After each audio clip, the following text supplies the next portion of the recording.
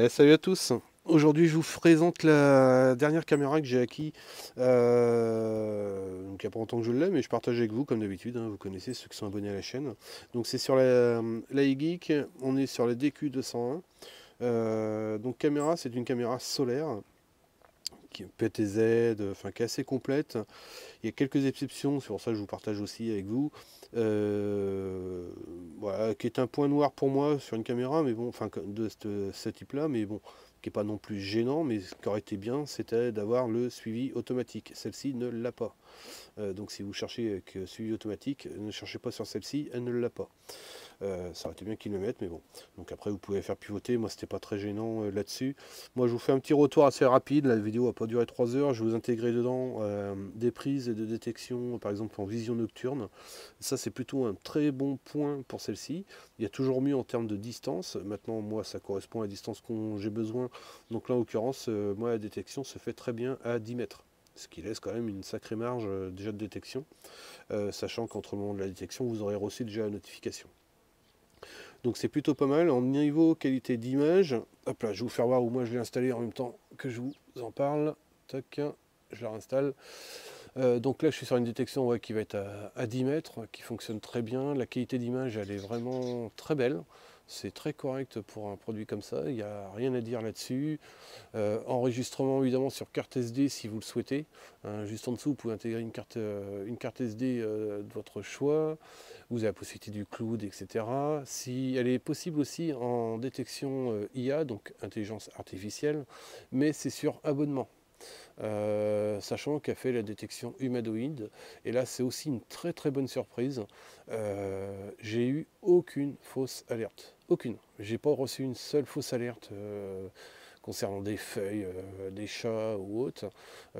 donc ça marche plutôt pas mal. Donc j'ai envie de dire aucun intérêt de prendre l'IA pour l'instant. à voir, hein, si jamais ce n'était pas le cas dans l'avenir, je vous referai un retour dessus. Mais pour l'instant, rien à dire là-dessus. Point négatif qui m'a fait un peu peur, c'est le petit panneau solaire qui est fourni avec. Quand je dis petit, euh, pour donner d'idée, parce que ça, j'avais pas fait gaffe, hein, il fait à peu près la taille d'un smartphone.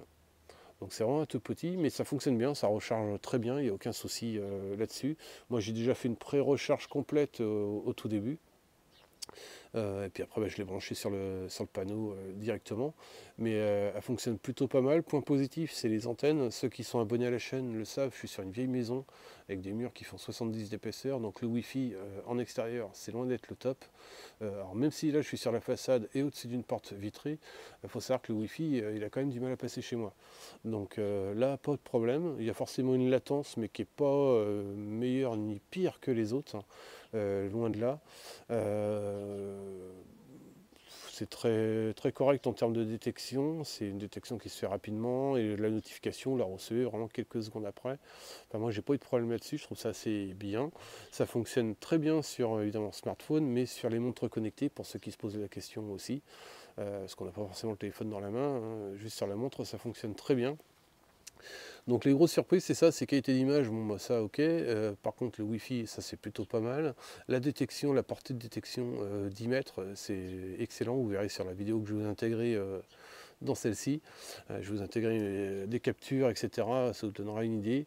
L'application demanderait être un peu plus simplifiée, notamment pour pouvoir activer et désactiver la détection. Euh, pas besoin de recevoir forcément permanence une détection, mais bon, euh, voilà, il y a des petits points d'amélioration sur l'application, mais qui, qui est assez fluide, qui fonctionne très bien, c'est simple. La mise en route se fait très rapidement, euh, plus rapidement que sur SViz, je trouve. et la détection, encore une fois, elle est plus précise. Hein. J'ai encore vraiment eu aucune fausse alerte.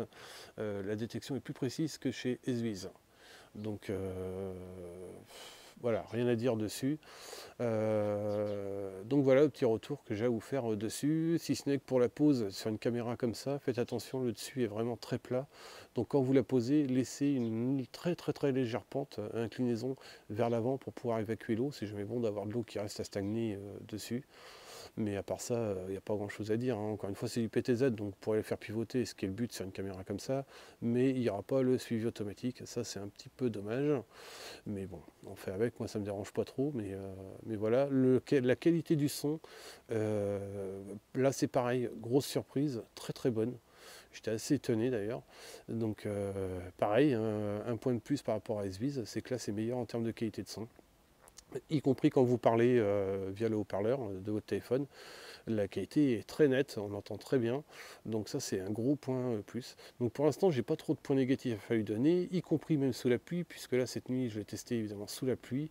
Euh, bah, aucun problème, euh, contrairement à l'ancienne que j'avais, que je vous avais parlé, la Esvise LC3, que je vous déconseillais parce qu'elle n'est pas étanche. Euh, vous pouvez voir les avis, vous verrez par vous-même.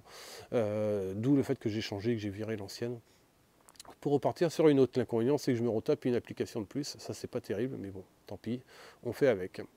Donc voilà, bon bah écoutez, présentation pardon, rapide de la caméra avec les petits points positifs. Si jamais il y a des points négatifs, évidemment, je vous referai un retour. Mettez un petit pouce bleu, ça fait plaisir. Euh, très plaisir même. Et puis euh, n'hésitez pas à vous abonner. S'il y a des questions, comme d'habitude, en commentaire. Et puis bah, je me ferai un plaisir de vous répondre. Et je vous dis à bientôt pour une prochaine vidéo. Salut à tous.